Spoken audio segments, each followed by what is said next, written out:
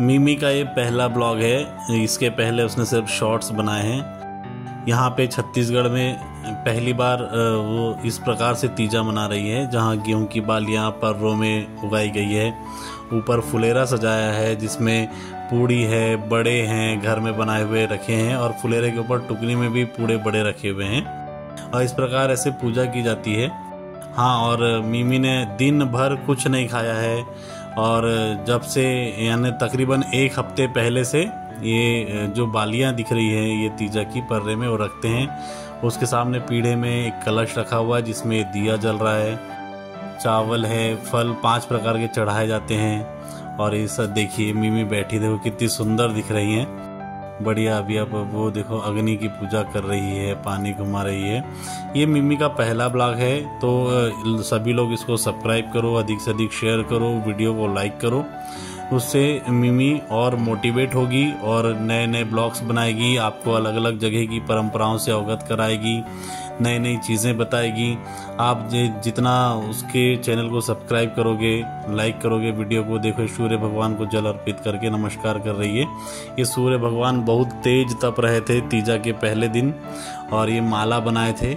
और ये देखो, अभी अब पूजा कर रही मिमी, ये दूसरे दिन की वीडियो है। जब दूसरे, पहले दिन क्या बोलते हैं, सिर्फ़ तालाब ले जा करके, पूजा करके इसको, ये जो पर्रा है, इसको लेकर के आ जाते हैं। इसमें गौरी गणेश रहते हैं और शंकर भगवान की पूजा की जाती है तालाब ले जा करके। और ये दूसरे दिन का वीडियो है, जब क्या बोलते हैं, मिमी ने ये पिंक कलर की साड़ी पहनी है, उससे मैचिंग वाली चूड़ियाँ लाई है। पूजा की तैयारी के लिए बहुत ज़्यादा तैयारी करनी पड़ी है।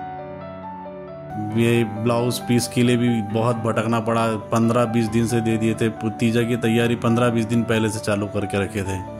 ये एक नारियल यहाँ पे रखे हैं और ये आरती का समय। दूसरे दिन तालाब ले जाने के पहले आरती की जाती है। पहले दिन भी दोनों टाइम आरती करते हैं। फिर वहाँ पे तालाब ले जाते हैं, वहाँ पे भी आरती करते हैं। अब यहाँ पे आरती करने के बाद में जब तालाब लेकर के जाएँगे, उसके बाद फिर एक गेहूँ की बालियाँ से उससे पर्रे से अलग कर देते हैं। दिया तालाब में बहा देते हैं और फिर सबको प्रसाद देते हैं तो यह आरती चल रही है। अब अभी आरती ख़त्म होने के बाद में अब वहाँ पे सब प्रणाम करके जितनी भी चीज़ें वहाँ चढ़ाई गई होगी, वो सब चीज़ें करते। देखिए हार बनाए थे, ये हार को इस प्रकार से यहाँ पे कर देते हैं। और इस प्रकार अभी मिमी अब शीश नवा करके हाथ जोड़ करके प्रणाम कर रही है। ये देखिए, अब जैसे दूसरे दिन का है तो दूसरे दिन इसको फुलेरे को ऐसा हिला हिला करके उसको थोड़ा सा किया जाता है, फिर अलग किया जाता है। तो यहाँ से अब देखो, उसको हिला, फुलोरा हिलाई, इसलिए अब उसको प्रणाम कर रही है।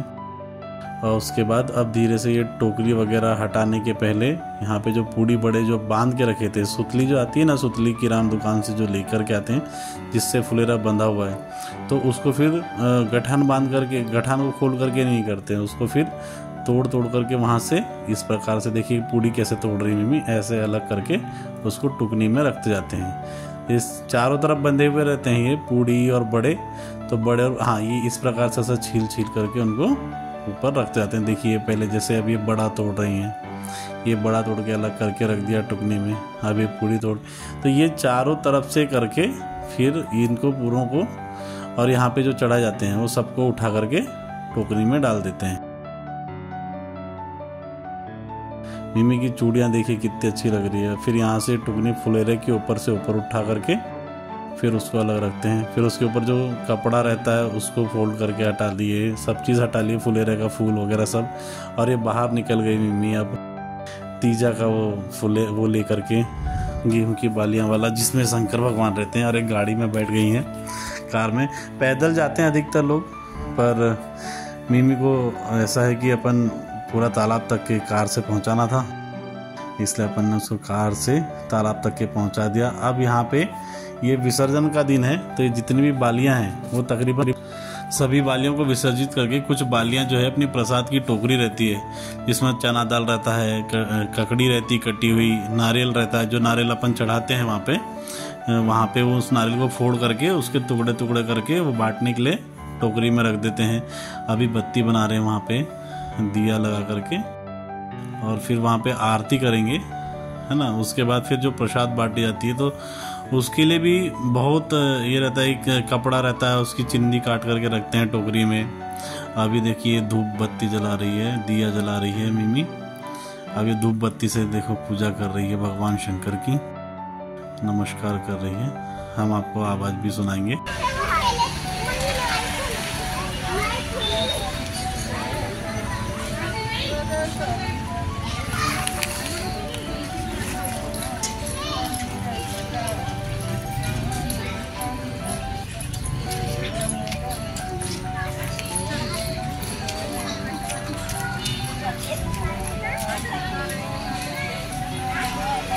अब जैसे मिमी लोग आए थे और कर रहे थे, सब सिरा रहे थे, बालियाँ, गेहूँ की, वैसे देखिए कितनी भीड़ है यहाँ पर। इतनी सारी महिलाएँ हैं, बच्चियाँ हैं, उनके साथ में छोटे छोटे बच्चे हैं, अपनी माओ के साथ में आए हैं, ऐसे बहुत सारे लोग हैं। वो यहाँ पे आए हैं और यही सब चीज़ का जो क्रम है, वो सब चीज़ दोहरा रहे हैं। ये एक बहुत अच्छा अनुभव, एक बहुत धार्मिकता से जुड़ा हुआ और यहाँ कुछ महिलाएँ जो यहाँ पे शिवलिंग स्थापित है, उसकी पूजा कर रही हैं। और ये पहले दिन का है जब पहले दिन पूजा करने लेकर के आए थे तो मिमी इस प्रकार से देखिए वहाँ वो गेहूँ की बालियाँ वाला जो पर्रा है जहाँ भगवान जिसके शंकर जिसके बीच में रहते हैं उसको रखने के पहले यहाँ पे ऐसा चौक पूरा जाता है चावल के आटे से और बाकी जो चावल का आटा बचा है उसको उसी तालाब में बहा दी देते हैं। देखिए सूरज कितना मस्त लग रहा है यहाँ का नज़ारा देखिए कितना मस्त लग रहा है तालाब में और ये गेहूँ की बालें। देखिए कैसे धो रहे हैं उसको। ये पहले दिन का है। ये ऐसे धो करके ये रखा जाता है। इस प्रकार से तीजा मनाया जाता है। कई जगह अलग अलग तरीके से मनाया जाता है। वहाँ पीढ़े में मिट्टी के शंकर भगवान, गणेश जी, पार्वती, ये सब मंडा करके फिर उसको फिर लेके जाया जाता है। लेकिन यहाँ ये पहला अनुभव है मीमी का। लेकिन यहाँ ये पहला अनुभव है मीमी का, जब इस प्रकार से तीजा की पूजा कर रही है।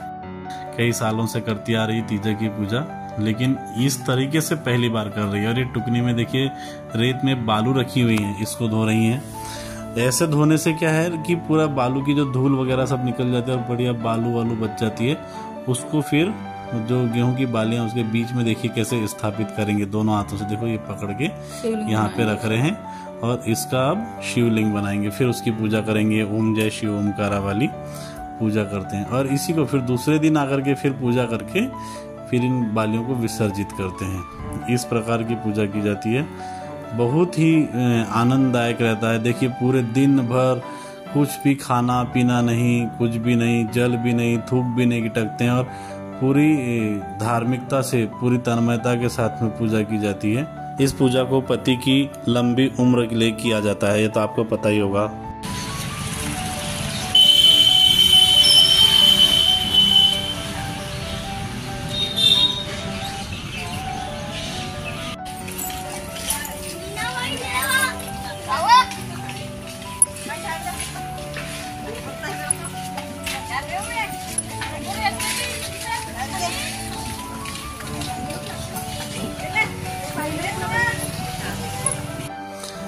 वहाँ पे वो विसर्जित करने के बाद में फिर उसके जस्ट पास में ही शिवलिंग स्थापित किया गया है। यहाँ पे शिवलिंग की पूजा करते हैं।